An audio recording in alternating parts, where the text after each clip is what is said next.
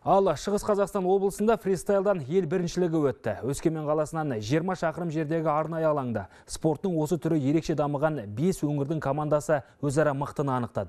Олар шаңғымен сырғанау және сырғанап кеп әуеде спорттық элементтер жасау бойынша шеберліктерін көрсетті. Ел біріншілігінде көзге түсіп, барлық тапсырмада жоғары ұпай жинаған спортшылардан ұлттық құрама жасақталатын болады.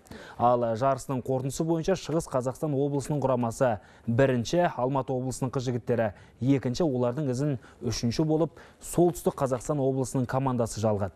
Енді осы жеңіс жолынан көрінген командалардағы таңдаулы спортшылар әлем чемпионаттарына дайындалатын болады. Основная сборная которая формируется по результатам. Осы жарыстан жеңген командалардан фристайлдан еліміздің ұлттық құрамасы жасақталып олар әлем біріншілігіне қатысу үшін алдағы қаңтардың бірінде канада мен ақш аттанатын болады. Ал қаңтардың жиырмасына қарай әлем чемпионатының қорытындысы бойынша олимпиада ойындарына қатысатын спортшылардың тізімі жасақталады.